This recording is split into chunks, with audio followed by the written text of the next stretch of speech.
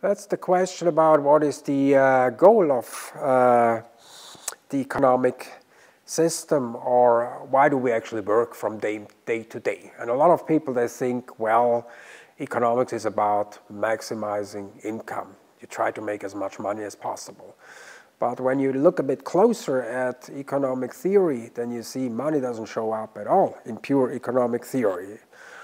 There, it's about something else, and in economic theory, we call that utility, and the assumption in economic theory is that households, they maximize their utility, which means that people try to satisfy their needs in the best possible way. So at the end, that also means people try to do things that make them uh, happy, that make them satisfied.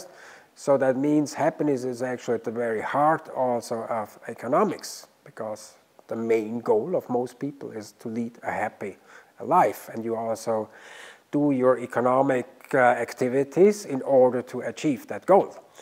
So it's also about what is the point of, of economics. And then we see that in wealthy countries like Switzerland, like Germany, like Austria, but most of the Western uh, countries, that we have, of course, economic growth. So we get, on average, wealthier and wealthier.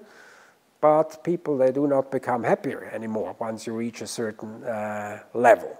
So we see that we do not actually live in a way to actually maximize our happiness or improve our happiness. Instead, we are totally focused still on economic growth. And therefore, we can also ask whether that, that makes sense to focus that much on economic growth if it doesn't add any more to people's happiness.